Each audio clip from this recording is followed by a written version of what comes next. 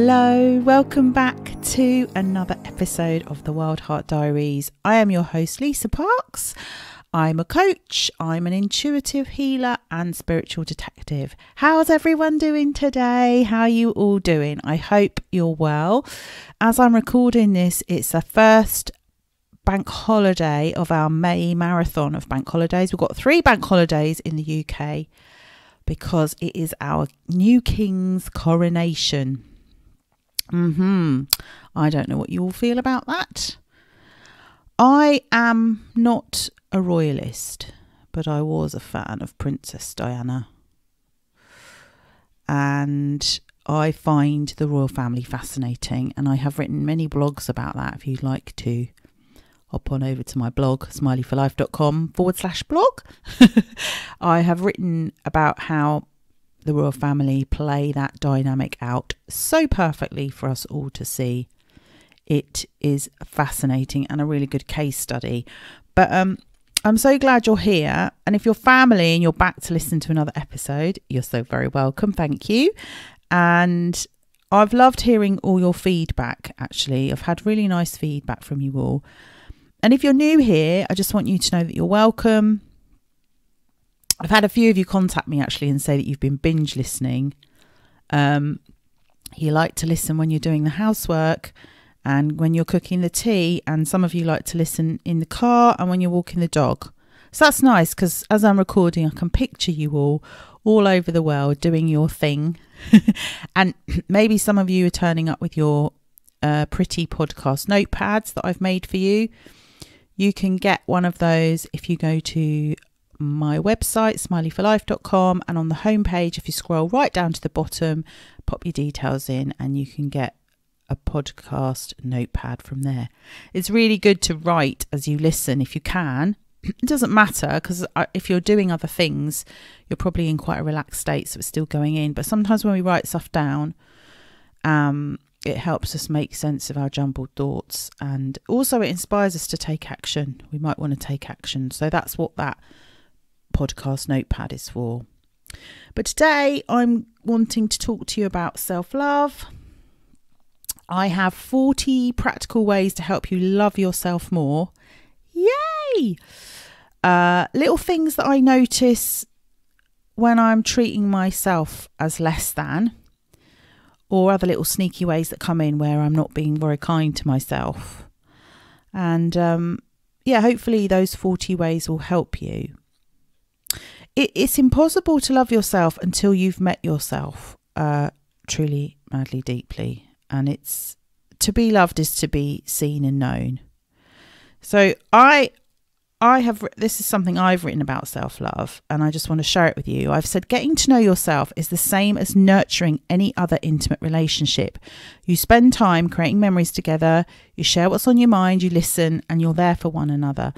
And over time, your bond strengthens and you build trust and respect.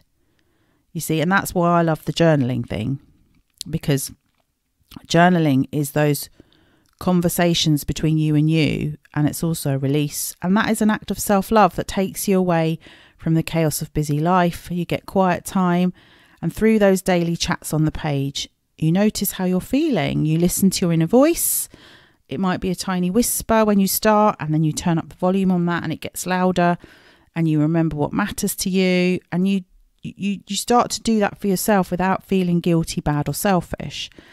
And also, when you journal, it silences that constant hum of negative thinking.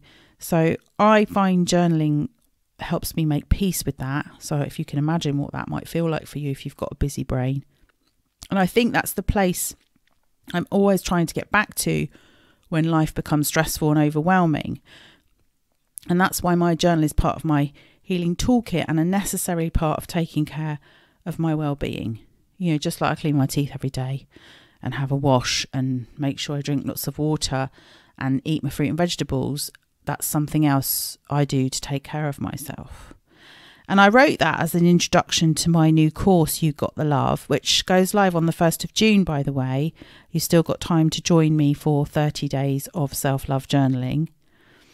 It's, it's definitely for you if you're loving and kind to everyone else, but not to yourself.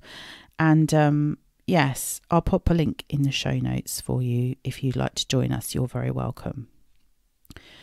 But I think when people talk about self love, they think that a lot of us think, oh, I need to be perfect in order to be loved. So we slip into the realms of being unrealistic because perfection is not a thing, it's not achievable. In fact, perfectionism is self harm. To expect such unrealistic standards from yourself is cruel and unkind, and sometimes it can be abusive.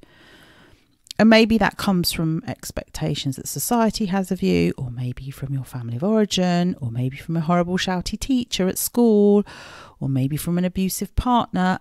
It comes from somewhere and we internalize it. And yeah, so self love is really, we think we have to be a certain way in order to be lovable. But I just want to make the point that you're lovable just by being you. I think that's the point I want to make there.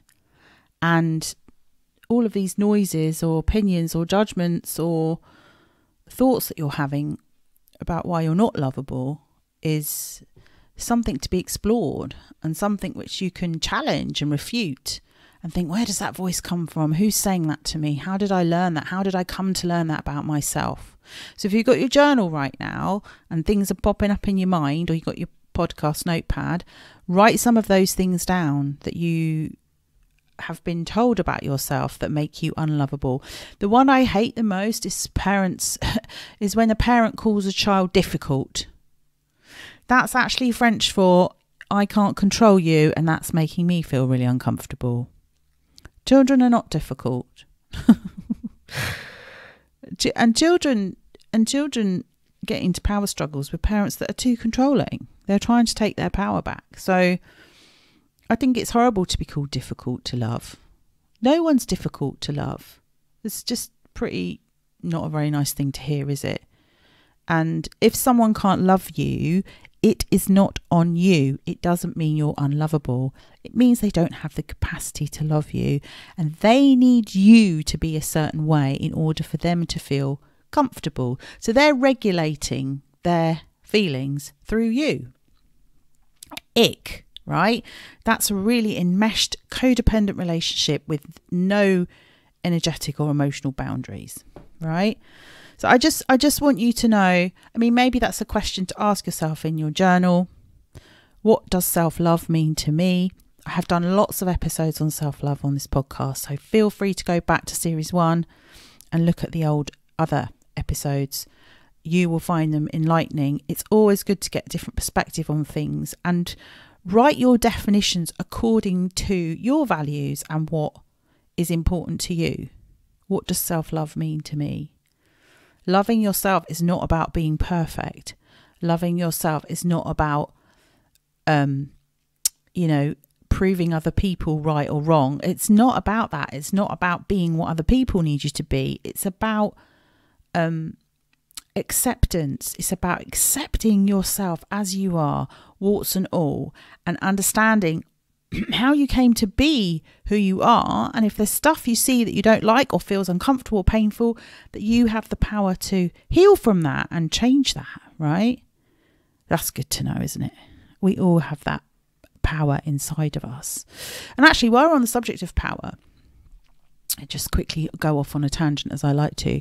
I had a session with my therapist uh, this week, and it was actually supervision because, as we do as therapists, we come across things that trigger our own um, wounds. That's kind of how it works because you're in relationship with the client, so stuff is going to come up. So, any good coach or therapist will have supervision and they will be doing the work on their stuff don't work with people that aren't because they'll be coming down from the mountains and preaching and they'll have read loads of stuff in textbooks about how you should behave. A should is a really shaming word. You want to work with people that are on the ground, keeping it real. uh, you know, ones that are open to changing the way they do things, ones that are open to apologizing and doing repair because we fuck it up sometimes, we get it wrong. Anyway, I was in a session with my therapist and we talked about how much power we have as therapists. and I don't mean that in a kind of ha ha ha, I've got all the power.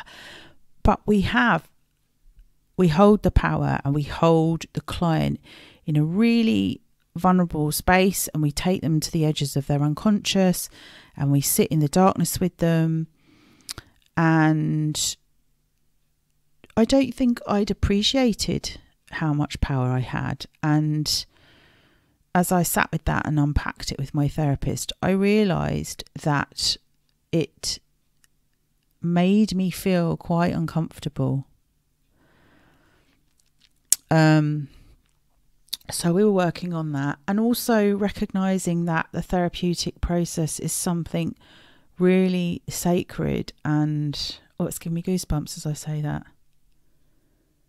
Yeah, it's just such a sacred space to go into with someone, but equally uh, the other thing that I learn is um again it's always back to boundaries with me because of my enmeshed relationship with my family of origin.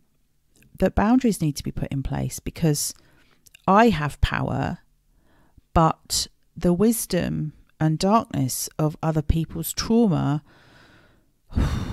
is also powerful and it's and it's really hard to sit in and I notice that. So in my inner child healing circle which is the wild heart book club we have done our 6 weeks now.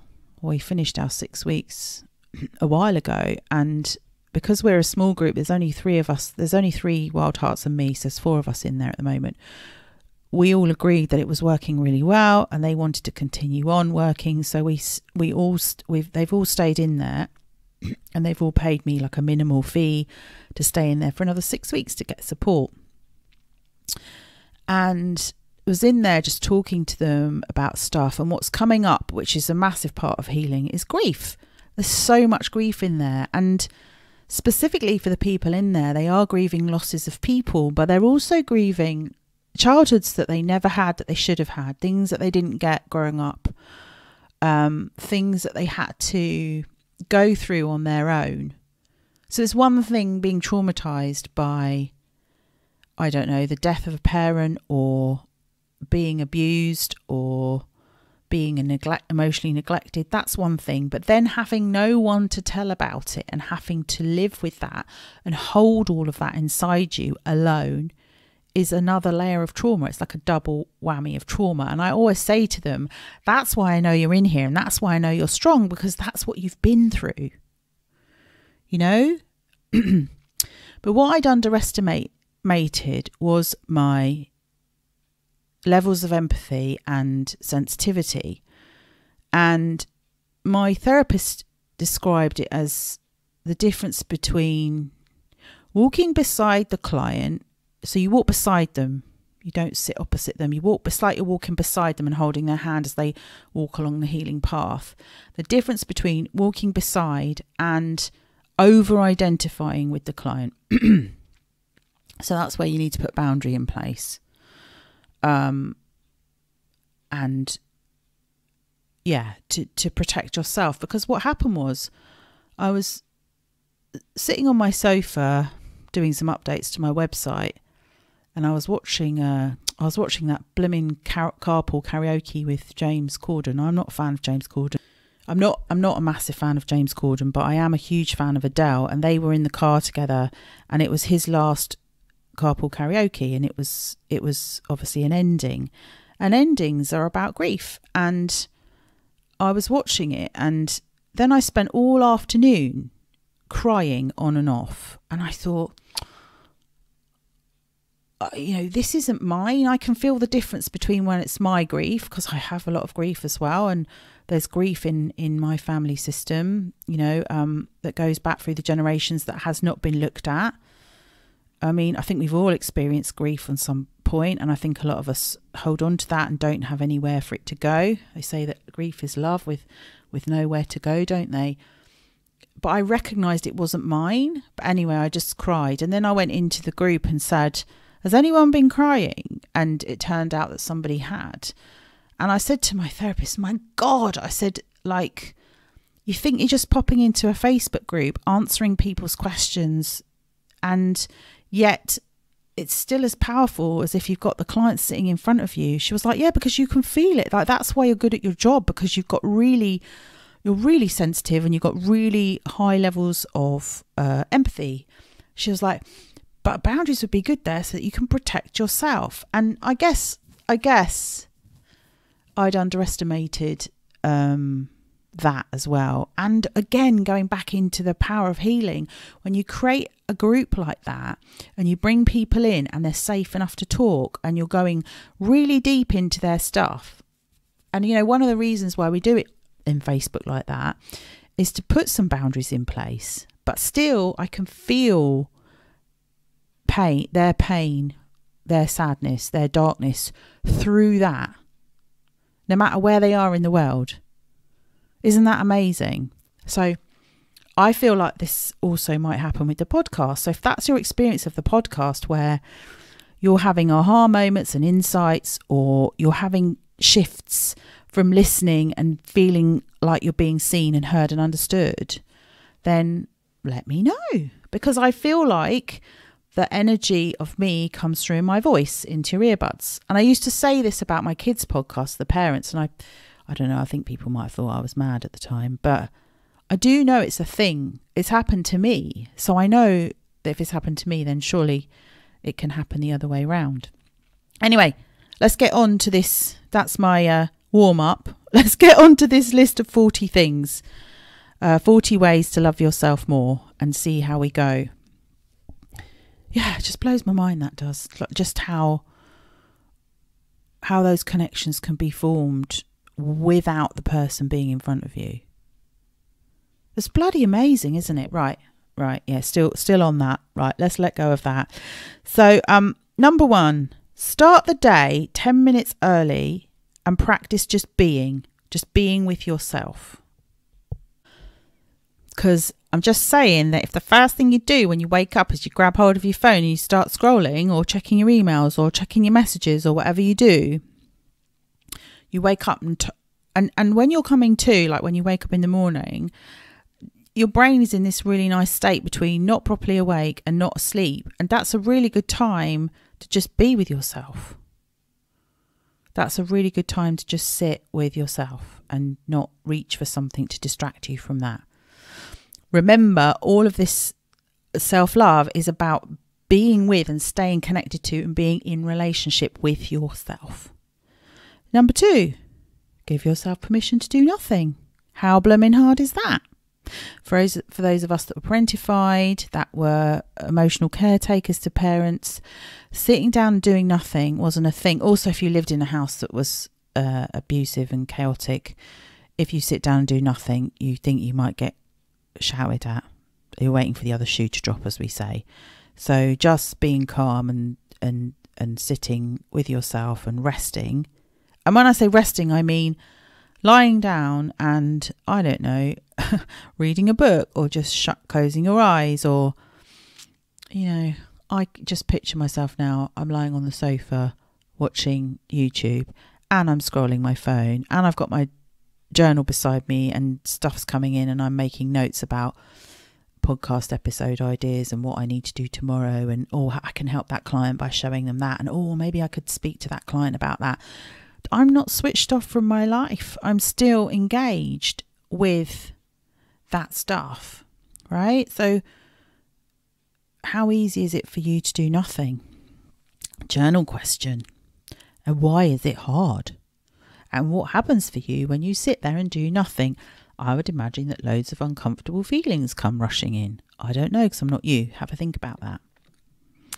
Number three, accept compliments graciously. This is about receiving and letting love in. Like, how does it feel? Journal question How does it feel when someone recognizes, compliments you, says thank you, praises you? I mean, our inner child is always looking for all of that validation and love. Our inner child is seeking that out. Well, one of our inner children is, or many of them, I expect. But then when we get it, because it might not have been safe to be in the spotlight when you were a kid, another part of us goes, Oh my God, this is so overwhelming. It's too much. I can't deal with it. Number four, make promises to yourself every day and keep them. So, you know, recently I've been waking up and thinking, oh, I'm just, I need to fall back in love with my book again. I need to sit down in my PJs with a pen and paper and go through all the chapters and get right back into the story again. No, avoiding doing that. Um, so I'm going to bed every night and thinking, right, I'm going to do that tomorrow, and then I'm not doing it. And avoidance of something is always self protection. So when you're procrastinating, you're not being lazy. You're you're protecting yourself from something.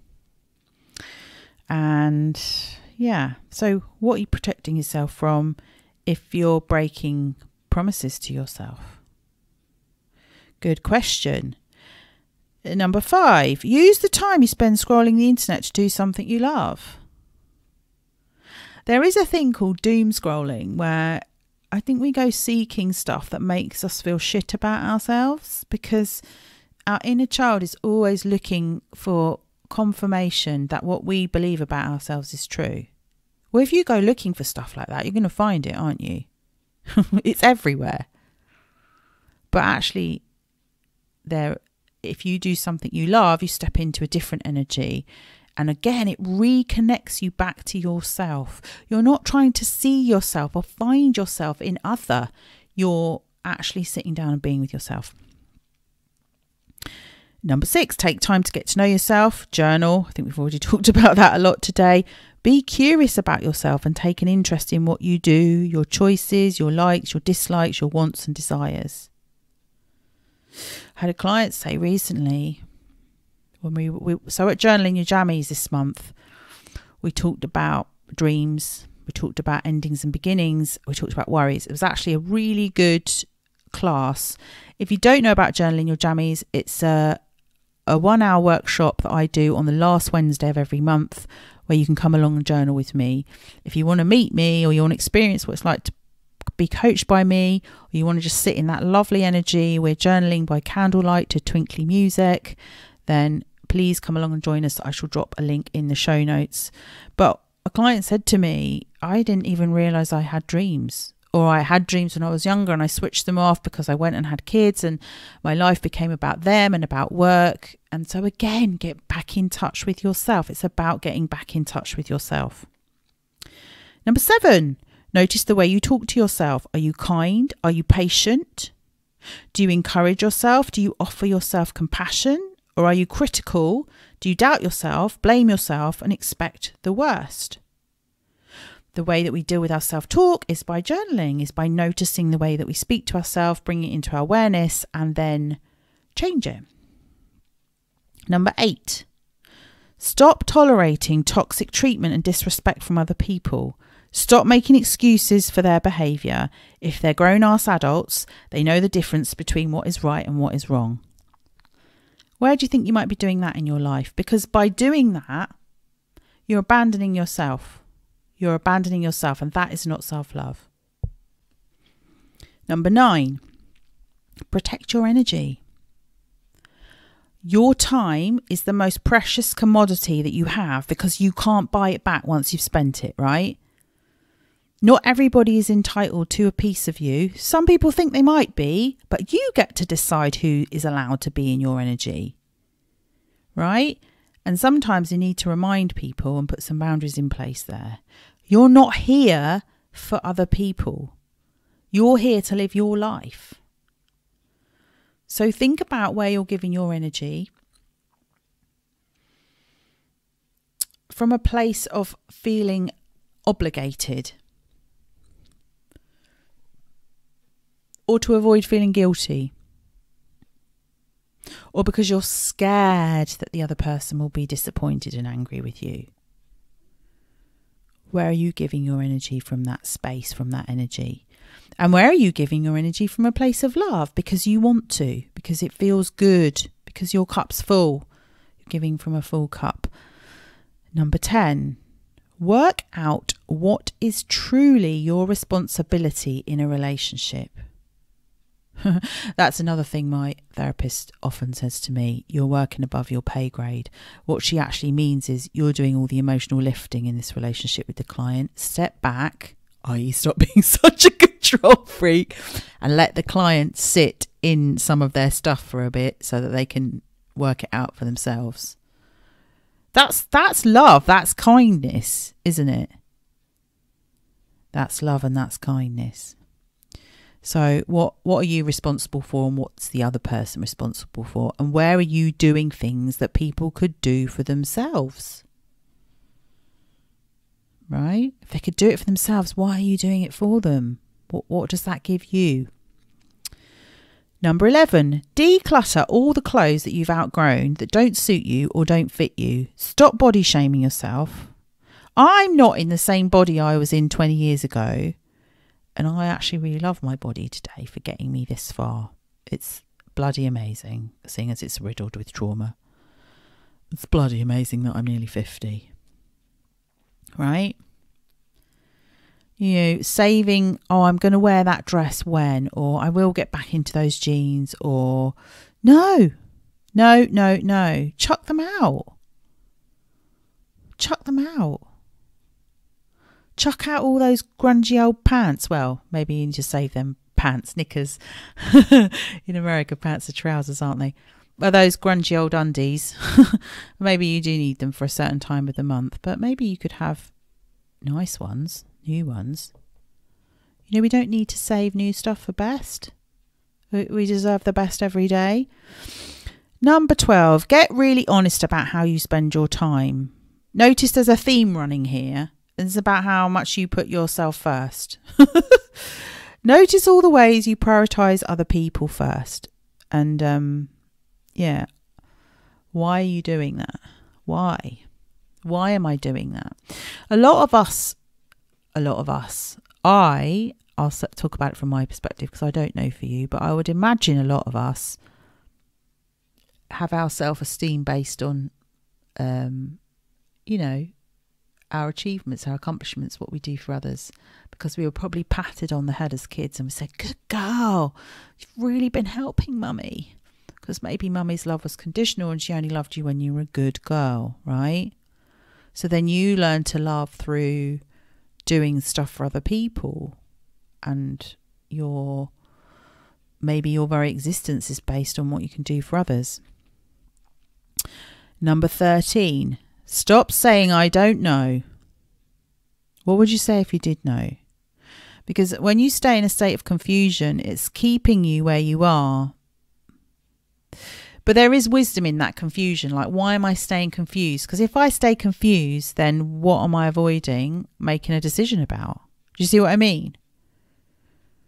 Only you know what's right for you, so no one else can make the decision for you.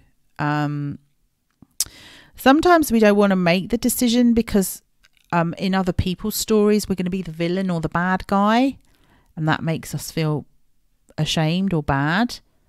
But you know what? And this is something I'm learning to do. We are going to be the villain in someone else's story.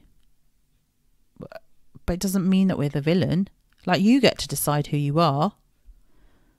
And we're not always going to do things that other people want us to do. We are going to disappoint people and they are going to disappoint us.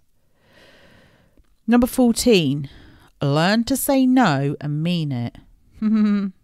that's hard, isn't it? That's that's boundary work and as I say, like boundaries for me are always a work in pro progress. But when we say no, no is a full sentence. We don't have to justify, argue, defend or explain our decisions to anybody. Maybe in our closer relationships, we might um, we might want to explain to the other person to soften the delivery of no. And there are different types of no, aren't they? There is a no, not now. There's a no, not ever. There's a I'll think about it and get back to you. But then that's not really a straightforward no, is it? I think some people say that as a way of avoiding the no and then they never get back to the person. And I think if you can hear the word no from someone else and you don't take it personally, you don't make it mean that you're being rejected, then it's easier to say it to other people. That's what I've learned over the years. None of us like hearing the word no. because we have desires, don't we? We have wants, we have needs. But we, and that's the risk, I think, of sometimes reaching out to the other person that they might say no to us. But that doesn't mean that we're unlovable. That doesn't mean that it's about us. You know? And also it's it's for the good of the relationship. Again, you wouldn't want someone to say yes to you if they were doing something from a place of resentment and obligation and fear and guilt, would you? No, I wouldn't. Because they're going to get really pissed off with me and that's all going to leak out in the relationship at a later date. Um, 15. Take full responsibility for what is not working in your life and make a commitment to change it. It's not an opportunity to blame yourself or beat yourself up, but um, when you take full responsibility for your life, it is empowering because you're like, what can I do about this? Otherwise, you become powerless to the other person and you stay in this space of helplessness and powerlessness. And even though we can't change other people, we can make a decision about how we bring ourselves to the relationship and the way we respond to other people and the way that we engage with other people and how much of our energy we give them and all of those things are within our power and things that we can make decisions about. Number 16, forgive yourself when you fuck up. You will, and you will do it often. Do it with grace and give others the same grace when they fuck up too. Because life is messy, isn't it? And we learn from our mistakes. And in human design, if you're aware of human design, I am a line, I'm a 1 3, and line 3 is all about learning and making mistakes and then putting them right. And I have a massive fear of making mistakes because, you know, uh, I had to be perfect as a child to be loved, and making mistakes induces huge amounts of shame in my body, which I am working through. I'm always working through that. So, yeah. But forgiveness for yourself first to know that you're human, to know that you aren't perfect, to know that you will make mistakes, to know that that's okay and you're not expected to get it right all the time. I think to live in fear of making mistakes is is really hard because it's like having that really micromanaging, controlling boss that sits in, on your shoulder and watches everything you do. And then what do you do when you have a boss like that? You fuck up more, you make more mistakes, and it's like a self fulfilling prophecy. So if you're doing that to yourself, just stop. Stop. Just say, I'm going to be kinder. I'm going to give myself more grace, more leeway. I'm going to give myself permission to get it wrong. When you're writing, you learn that like when you're writing a book, your first draft is crap. Give yourself permission to write a crap first draft because if you go all at it, trying to be perfect the first time you write it, you'll never write it. You'll never ever do stuff that you expect yourself to do perfectly the first time because your fear of uh, getting it wrong will be right there, sitting on your shoulder. Number 17, forgive when you're feeling down on yourself, put on a different head. like you know, like Worzel Gummidge. So you know, we've all had those moments, haven't we, where we're sort of spiraling to into doomsville and going, oh, it. If we start catastrophizing or we start using it's never, it's always like that is the voice of doom, and also we've we're going into black and white thinking, which is what the trauma brain does. It's all or nothing, it's right or wrong. When you catch yourself doing that, just say, well, I could choose to see it differently. Like, just because you have a thought about something doesn't mean it's true. Just because you have a feeling, feelings are not facts, it doesn't mean it's true. It's just a thought, it's just a feeling. You don't need to jump on it and make it your whole uh, moment. You can just say, oh, I'm going to choose a different one. You know?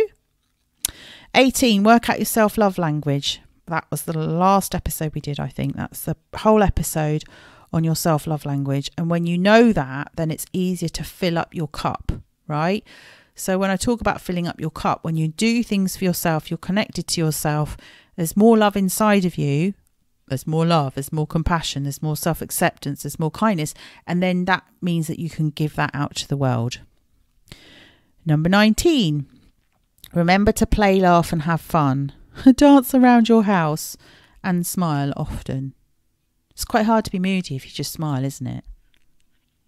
If I properly go into a smile now, I can't be moody.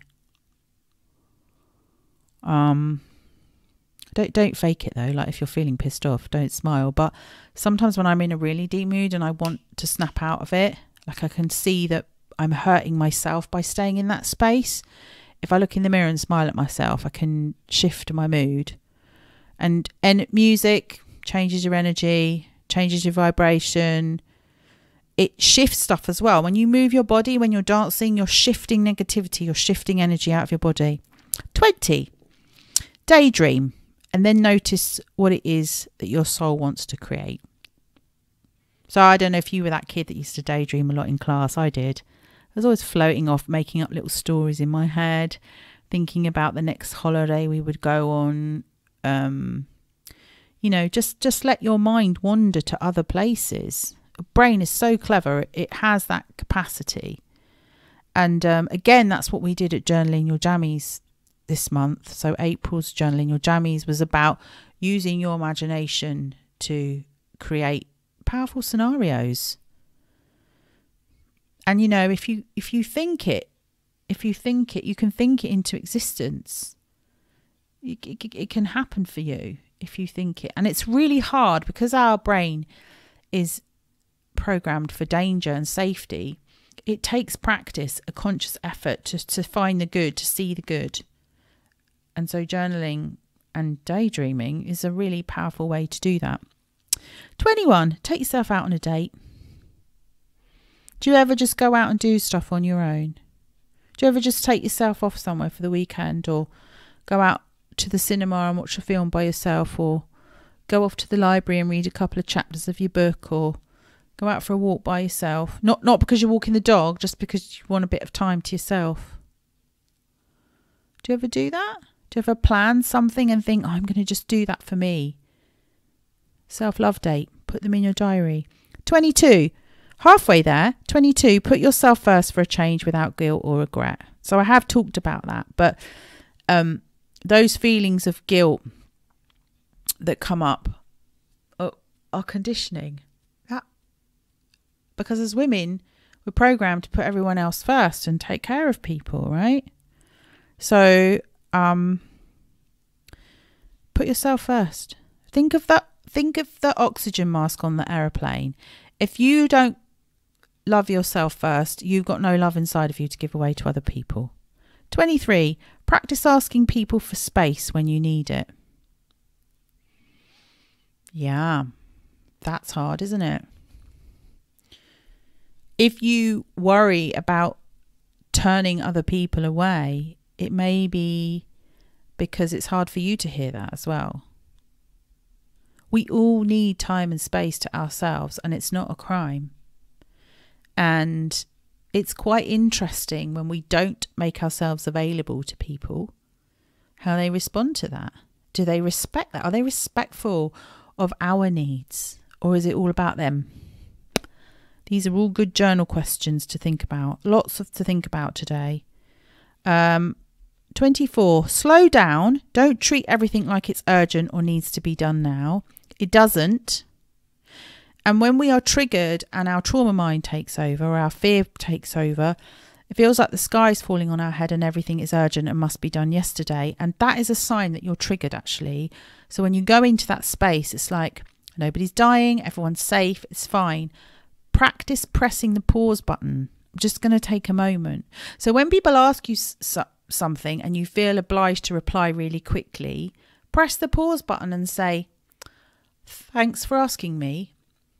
Can I get back to you on that? Press pause. 25. Trust yourself to make the right decision. Because there's no such thing as a wrong decision, only one that feels right in the moment.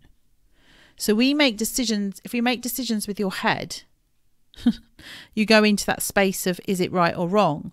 But if you go inside your body and listen to your gut feeling about something, that's the right decision for you. It feels good. If it doesn't feel good, nah, it's not for you.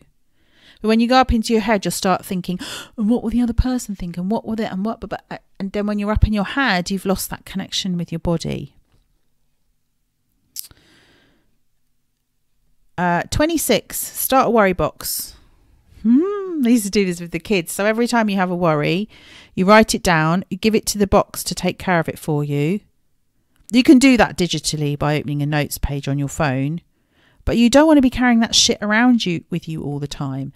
And you know what? When you put stuff in the worry box and it gets held somewhere else, it passes and it stops becoming a worry.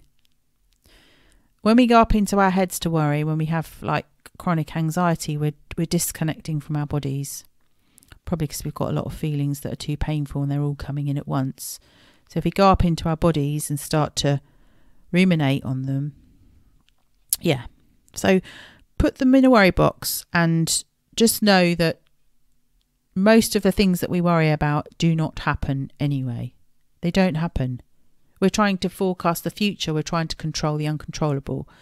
It gives us a semblance of control, but actually, we're not in control of anything. Take your hands off the steering wheel. 27. Face your fears. This is a hard one. What's the very thing that you don't want to do? The very thing that you don't want to do is probably the thing that you need to do. Look at fear in the face and tell it you're not afraid of it. Do you know what I think? I think we're not afraid of doing the thing. We're afraid of all the feelings that will come up as doing a result as a result of doing the thing. Right? Because we're going into the unknown. 28. Don't overschedule yourself. Schedule in downtime so you can ta- you can have time to decompress from the stressful busy world. Yeah. How many of us overschedule ourselves as a way of avoiding being with ourselves? And some of us find it hard to be by ourselves. I used to.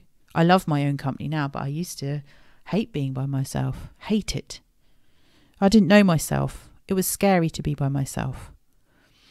When you have when you come from an enmeshed family where everyone's operating in a group think and you all function together, to step out of that and be by yourself, it's like losing limbs.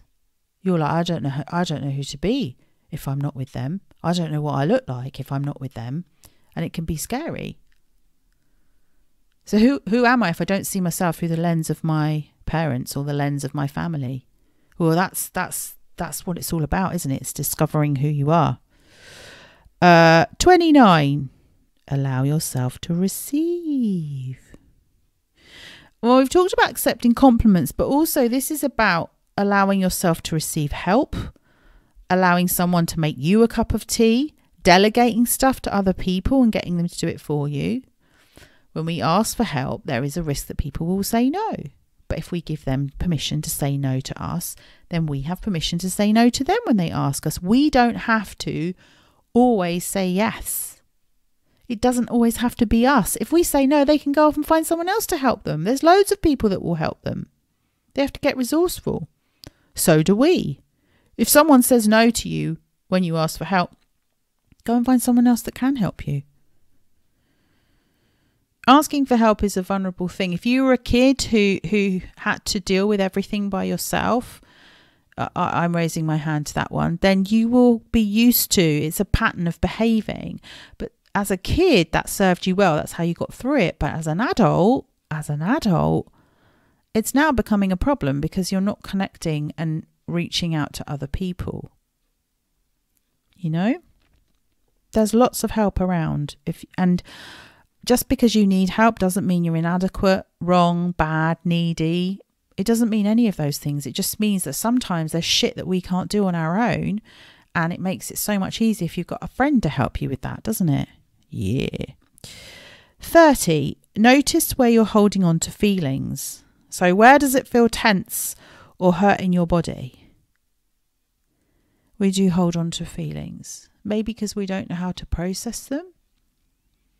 Maybe in a conflict situation, we hold on to anger and hurt and despair and grief because if we let go of those feelings, we have to let go of the person, and that's all we've got left of them.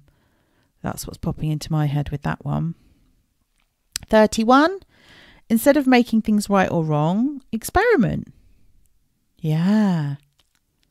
oh, I don't know if that's the right thing to do. I don't know if I should do that. Should, obligation, fear and guilt, no thanks. Experiment. Just say, I'm going to have a go at this. Who cares if it's right or wrong? I'm just going to do it and see how it makes me feel. Just try. Throw caution to the wind. Live life on the edge.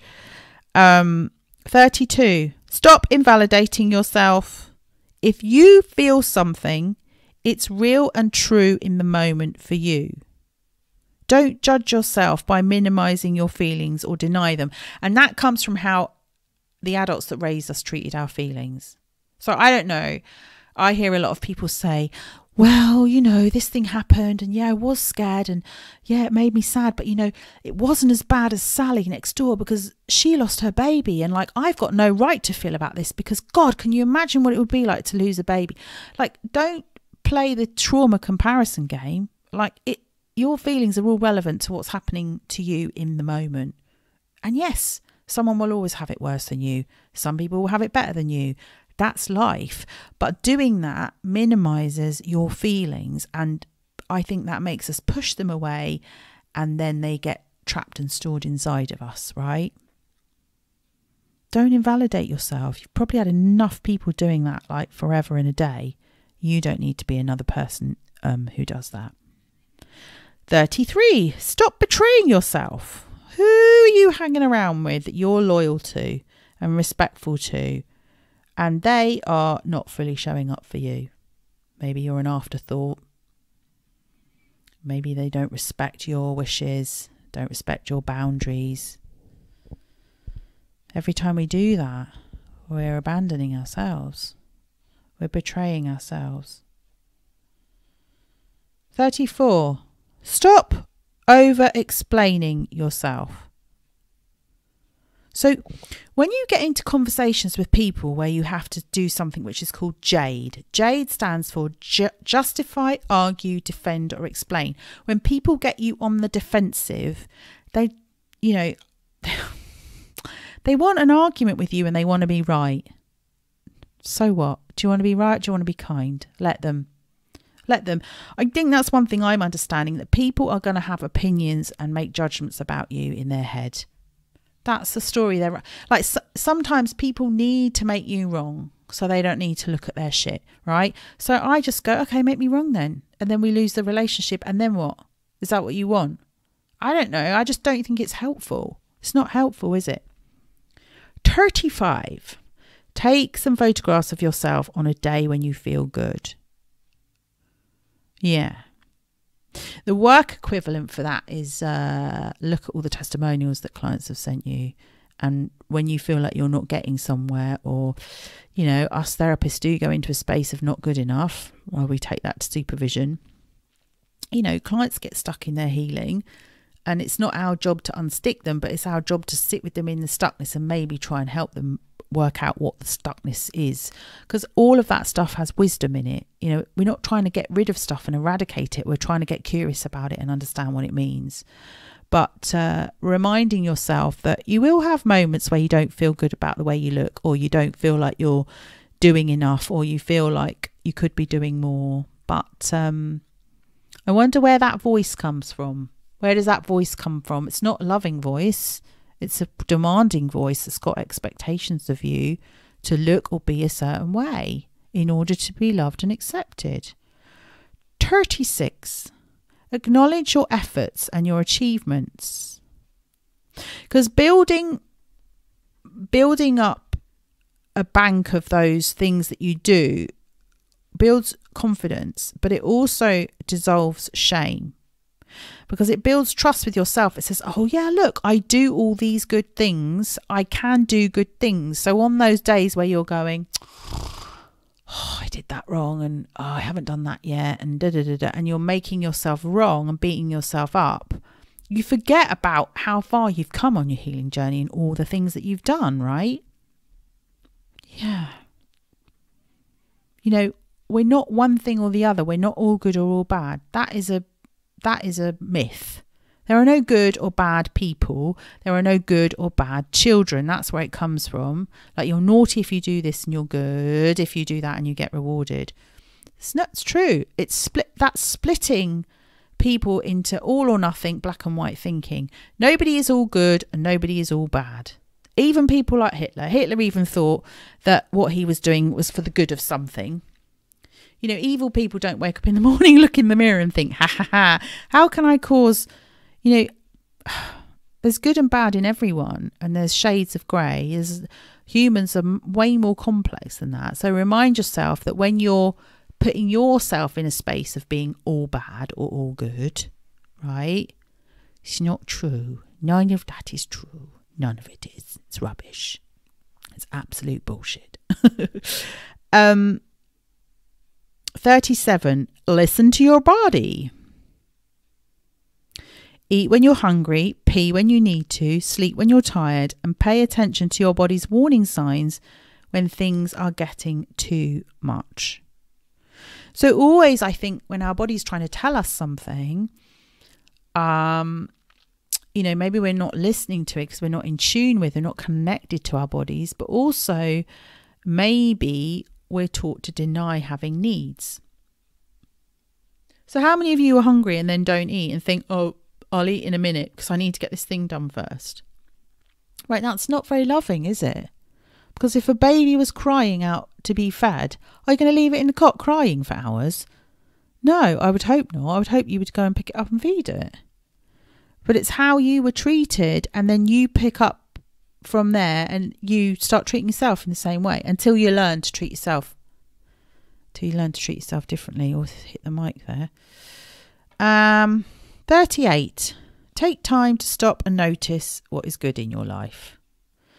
And I've already sort of talked about that, but what I mean by that is people might say, do it, do a gratitude practice. And um, actually, in journaling your jammies this month, a lady that came along reframed gratitude for me, which I was really grateful for, ironically. And she said, What about the word appreciation? I hate the word gratitude because I was always told how ungrateful I was, and I didn't pre I didn't um you know like I was an ungrateful child, which basically was French for I don't feel appreciated by the other person. But you know, there's some people that no matter how much you appreciate them, it's just not enough. You know? So I think if you can just start saying, you know, this is what I like about my life, or this is what I love about my life, like right at the top of the page of your journal, I like, I like big butts, and I cannot lie. I don't know why that song's just coming to my head. I like dot dot dot. I like tulips because I'm just sat here looking at a vase full of really gorgeous purple tulips. I like uh, tarot cards because I've got loads of those. My, I like crystals. I like cups of tea. Let's have a serve of my tea. I like candles. Always got a candle on the go. You'll see me as we're revving up for the journaling your jammies at the end of the month. I will usually post a picture on social media because I've bought a new a candle for us to light. um, just write a list of things that you like and notice how good that feels. Takes your brain off to a different space instead of looking at all the things that you don't like. You know, that being said, with all these sort of tricks and things, sometimes you need to sit in that space of being in a grump. I did that yesterday. I was in a really bad mood yesterday off the back of my therapy session on Friday. And then I know that once I've cried and the tears come, that I'm dissolving normally shame and old um old traumas. And once I've had a good old cry, I cook myself some dinner and then I know that when I woke up this this morning or the next day, I'm going to be all right again. That's my that's how I process stuff. Um yeah, 39. Let yourself be excited and enjoy the moment. Expect the best, you deserve the best. Oh, that might be two in one there, Lisa. So this might be 41 instead of 40. Let yourself be excited. How hard is it to trust that this good stuff is, is good? How many of you waiting for the other shoe to drop? How many of you think this is too good to be true? I mean, sometimes when people are people are too good to be true, it's normally the case, you know. Relationships are not a Hallmark movie or a Disney film. or a rom com. But um you know, let yourself be excited and enjoy the moment. You know, if you were raised by someone whose mood dictated the family, it meant that when they were mad, you had to be like you couldn't be happy, or when they were anxious, you couldn't be happy, or when they were feeling shit, which was probably most of the time because they couldn't regulate their own feelings, you weren't allowed to be joyful and happy, right? But if they were joyful and happy, you had to be joyful and happy, even when you might have been feeling sad and anxious. So your mood was dictated by their mood. Oh, God, that's so headfucky, isn't it? Right? So it's going to take some practice to just feel your own feelings and not feel your feelings based on how other people are feeling. Separate yourself out from them, put some boundaries in place. It's not insensitive. Like you could hold space for someone that's feeling sad and anxious. It doesn't mean your whole mood then has to be sad and anxious for the rest of the day. You can be concerned for, you can sit with, you can have empathy for that person, but you don't need to absorb their feelings. I'm saying that for myself because I do that and I'm learning not to. And that's really freeing. So bloody freeing. And you it doesn't mean you don't care and you're insensitive if you don't. Which is what I was taught. You don't care about me because you're out skipping and playing in the garden while I'm sitting in here making chucking things around the kitchen and hoovering really loudly and deep breathing and muttering under my breath how no one cares about me. Sorry, oh, that's that's me telling a story about my childhood there. I just noticed how random that sounded. But like ask for help then. Ask for help. Um number 40. We've reached the end of our list and we're coming up to an hour. That's really good. Number 40. Get outside and reconnect with nature. Feel the sun on your face and the wind in your hair. How good does that feel? You are nature. You came from nature. And when you get back outside in nature, you reconnect with that part of yourself. And again, it's all about, as you've noticed, it's all about reconnecting with yourself. That is what self love is being with yourself, having a relationship with yourself, being curious, being interested in yourself, understanding yourself. That is what self love is. So I hope you found today's episode useful. If you'd like to join me for You Got the Love, which is 30 days of journaling, it's journaling with me and asking more reflective questions like this and coming into a group and being with other people who are doing the same thing We'll all take on that lovely energy that I've talked about today, and it will be powerful and magical. You are very, very welcome. I will put a link to You Got the Love in the show notes, and I hope to meet more of you and see more of you there. And you can come into that space and, and we can all be together. And yeah, it's going to be good. It's going to be really good. Um, I think that's it for today because we're coming up to the hour and it's been quite a there's a lot of information in today's episode, and I think you could probably listen to it more than once and do lots of journaling on all of those points and questions, and even do a little bit of a recce with yourself and think, do I love myself? Am I good at loving myself? Where do I need more practice? How could I love myself more? For me, it's about letting more love in. It's about letting more love in. What I tend to do is over over love and over give to other people to the detriment of myself, which I'm sure you can all relate to. Right, so until next time, lovely wild hearts, stay wild, choose love, so much love to you. Bye for now.